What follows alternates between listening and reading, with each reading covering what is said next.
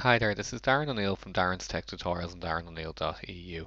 In this very short video I'm going to show you how to correct the error firewall cmd command not found. So I've just installed Red Hat 8 and when I went to set up some firewall rules I noticed that the command was not found. So it's actually really really easy to correct this and all you need to do is install firewalld. So you do sudo yum install firewall D and I have a typo here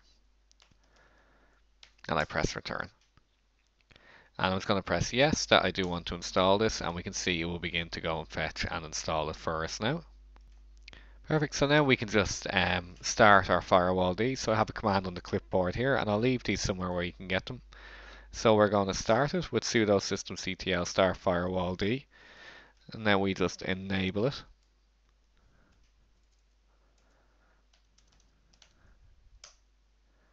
And finally, we'll just check the status of it.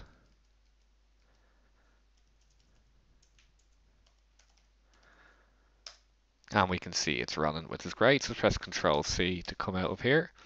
And if we go back up and we find our initial command, we can see that it actually is working now. I just need to put sudo in front.